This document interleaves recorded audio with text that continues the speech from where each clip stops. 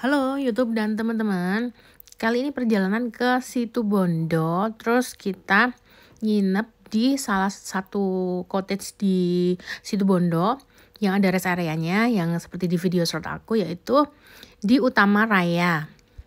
Nah, yang di pojok kanan tadi itu lobbynya ya. Jadi kalian bisa ke resep ke resepsionisnya di sini untuk check-in. Aku check-innya sebenarnya malam ini mau check out video check outku karena malam banget mau balik sampai ke Malang ke Malang udah kemalaman jadi memutuskan untuk istirahat di Utama Raya. Untuk tipe kamarnya sendiri di sini ada beberapa tipe kamar. Jadi ada daftarnya. Uh, ini kan aku weekday ya teman-teman. Jadi bisa langsung datang dan dapat kamar dan pilihannya masih banyak yang kosong gitu. Tapi kalau weekend mungkin kalian memang ke sini untuk sengaja untuk liburan, kayaknya lebih amannya kalian uh, by phone aja. Ada Instagramnya atau kalian ketik di Google itu akan nanti muncul websitenya tuh. Nanti ada nomor HP-nya kalian bisa hubungi gitu. Yang kemarin aku ini, aku kemarin biasanya villa family suite yang dua kamar. Weekday itu harganya 650. Kalau weekend uh, lebih mahal 150 ribu kalau nggak salah ya.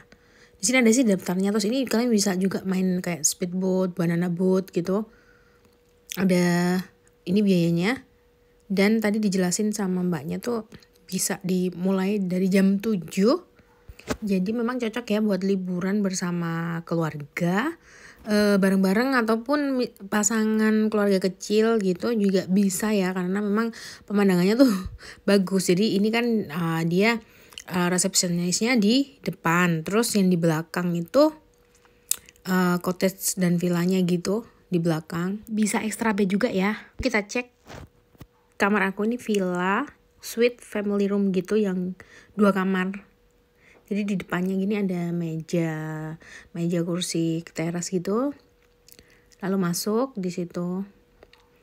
Di sini ada kulkas. Jadi kalau misal kalian bawa makanan yang mudah basi gitu di sini disediakan kulkas.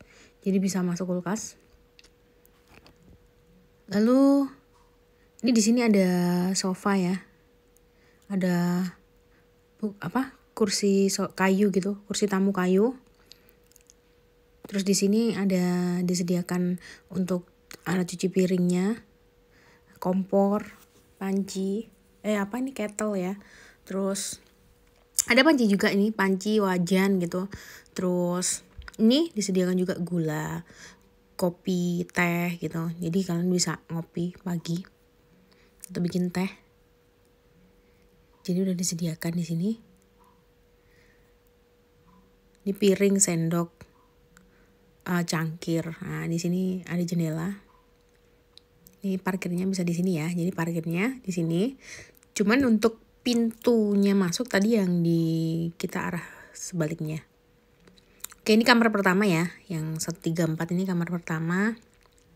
Kamarnya sama ya isinya. Ini kan dua kamar dengan isi yang sama. Jadi lemari, televisi, terus ada meja kerja kecil gitu. Ini bed ukuran king queen ya ukuran terus. Ini kamar mandinya shower. Jadi untuk peralatan mandinya kita dikasih handuk satu dan ukurannya kecil ya teman-teman. Satu handuk ukuran kecil untuk satu kamar dan dua buah sabun batang. Untuk kayak sikat gigi terus pasta gigi kayak gitu nggak ada. Uh, apalagi lotion kayak gitu nggak ada. Jadi uh, memang uh, peralatan mandinya adanya adalah per kamar adalah satu buah handuk kecil dan dua apa dua sabun batang. Ini lemari. Ini jendela jendela ke arah depan ya ini arah depan. Jadi parkirannya tuh justru di belakang ya uh, di belakang kamar kita. Ini sama ya ini kamar yang kedua sama ada AC-nya. Terus seperti biasanya tempat sampah itu keranjang laundry. Terus ada gantungan apa namanya? jemuran handuk ya. Aja jemuran handuk. Terus ini ini jadi di kamar sini memang kalau pintu utamanya tuh kan di seberang satunya tapi setiap kamar dia ada pintu uh, sliding gitu kaca ke depan. Jadi kalau mau keluar jadi mudah ya jadi cepet gitu. Kalau ini pintu depan jadi pintu utama gitu. Kalau misal kita jalan kaki mau ke resto gitu. Sama aja sih uh, jaraknya nggak terlalu jauh kok sama pintu yang di belakang. Terus ini ada meja kursi kayu juga tapi ini kayak buat bersama gitu untuk untuk villa yang lain di sebelahnya itu. Kamar-kamar juga kan Oke ini kita mau jalan ke area pantai. Di situ ada tiket box. Jadi buat teman-teman yang nggak nginep sini tapi pengen ke pantainya juga bisa dikenakan biaya 5000 per orang. Kalau untuk tamu hotelnya itu free ya jadi kalian bisa datang kapan pun kalian mau cuman kalau kita pesen roomnya itu villa atau yang di depan memang jalannya agak jauh ke belakang kalau mau yang deket itu ada di sana kayak yang cottage nanti ada aku bahas nih ini yang ini tipe uh, presiden cottage ya kalau nggak salah ini. Jadi bangunannya bagus ya. Pastinya harganya lebih mahal. Ada yang di apa catatan di depan tadi. Ada berapa untuk weekday untuk weekend kayak gitu. Ini bangunannya memang lebih besar dan lebih lebih apa ya lebih eksklusif dan lebih private gitu ya. Nah kayak gini ini jejer-jejer jejer dari sana sampai sini berjejer. Ini satu tipe. Namanya Presiden Cottage. Nah ini kita menuju ke sana. Ya sama. Oh yang itu sama sama tipenya ya. Terus yang di sana itu ada masjid jadi masjid raya. Jadi disediakan masjid juga. Terus yang ini adalah penyewaan sepeda gitu. Kan memang ini kotanya luas ya. Jadi kalau kalian kuat jalan kaki sih nggak masalah. Tapi kalau kalian misal ngerasa capek mau keliling gitu kalian bisa sewa sepedanya di sampingnya masjid ini. Masjid ini sepertinya juga terbuka untuk umum misal kayak yang lagi di rest area pas waktunya mungkin jumatan gitu ya. Uh, buat yang muslim bisa jumatan di situ. Sepertinya ya.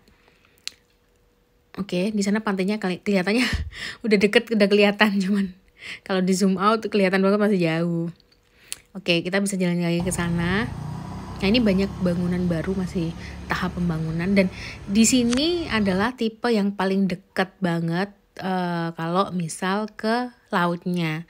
Jadi tipe-tipe ini yang paling dekat dengan apa? Dengan laut. Ini di sini adalah namanya Washington Cottage. Jadi kalian kalau mau pesen yang dekat banget sama laut itu yang di Washington Cottage. Ini paling dekat karena ini cottage-nya. Terus belakangnya itu resto dan lautnya. Jadi bener-bener ini sih bener-bener deket tinggal selangkah aja. Nggak perlu jalan-jalan jauh. Kalau kamar kita kan tadi di paling depan ya deketnya sama yang uh, lobby lobby hotelnya di yang deket lebih deket sama ini pom bensinnya. Ini restonya ya. Kita tadi jalan dari sana karena itu ada pembangunan masih apa nggak bisa dilewatin jadi kita tadi lewat rumput-rumput nah ini dia restonya.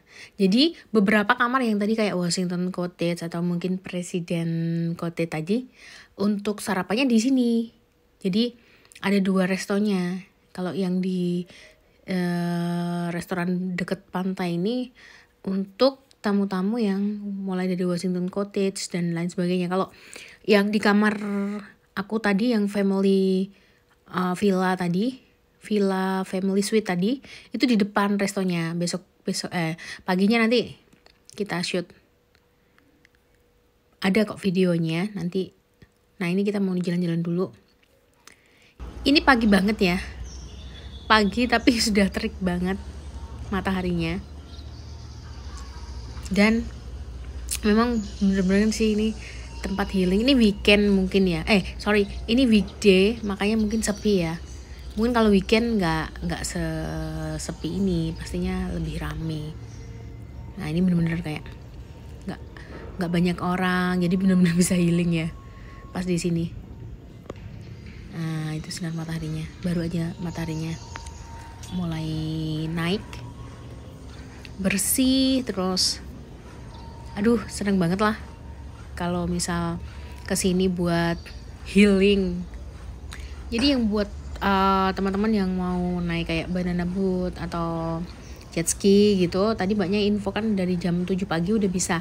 Tapi semuanya tuh lihat juga kondisi ombak. Katanya kalau misal aman ombaknya aman terkendali uh, bisa sewaktu-waktu tanpa reservasi. Tapi kalau untuk tamu hotel bisa lewat telepon gitu nanti reservasi lewat telepon bisa ini kalau sore sebenarnya kalau duduk-duduk sore di sini tuh nggak panas. Karena ini kan pagi ya mataharinya baru mulai naik. Uh, kalau sore pasti lebih nyaman lah nggak sepanas waktu matahari mulai naik.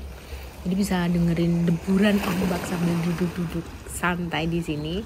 Bisa lihat di sana ada kapal ya kapal apa yang namanya ini kalau nggak salah kapal tongkang ya kapal batu bara gitu ya kalau nggak salah. Itu ada beberapa kapal di sana.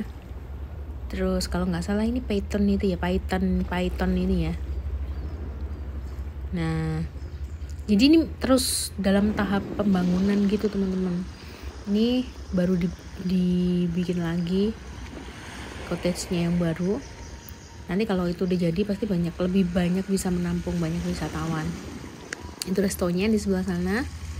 Jadi teman-teman yang mau nginep di sini bersama keluarga besar dan pengen yang deket dengan pantainya berarti tadi pilihannya adalah Washington Cottage ya. Itu paling bener-bener paling deket karena di belakangnya itu restonya langsung ke arah ke arah laut. Terus ini aku menuju ke restoran di mana yang room rumahku yang villa sweet family tadi itu sarapannya dia di depan jadi restonya beda ya. Jadi dari yang pom bensin itu kita ke arah uh, dari lobby itu ke arah kanan. Ada nama restonya di pojok dia. Ini di sini untuk makanannya uh, sangat sederhana ya. Jadi ada nasi putih, nasi goreng, terus untuk lauknya itu ada ayam kecap dan sayur tahu dan telur. Nggak tahu ya tiap harinya mungkin mereka ganti menu, tapi sepertinya kalau jumlah menunya sama, bakal sama. Ini di sini juga ada kalau mau beli oleh-oleh, tapi pilihannya sedikit. Cuman di sebelah kiri itu ada minimarket gitu. Nah ini contoh dari apa? Contoh dari oleh-olehnya beberapa macam minuman. Kalau kalian mungkin kurang cocok dengan sarapannya bisa pilih menu berbayar. Di sini juga ready ada beberapa macam menu yang bisa kalian pilih. Oke, ini video check out aku. Ini lobbynya. Jadi, thank you ya teman-teman udah ikutin video aku kali ini. Sampai jumpa di video selanjutnya. Thank you. Bye-bye.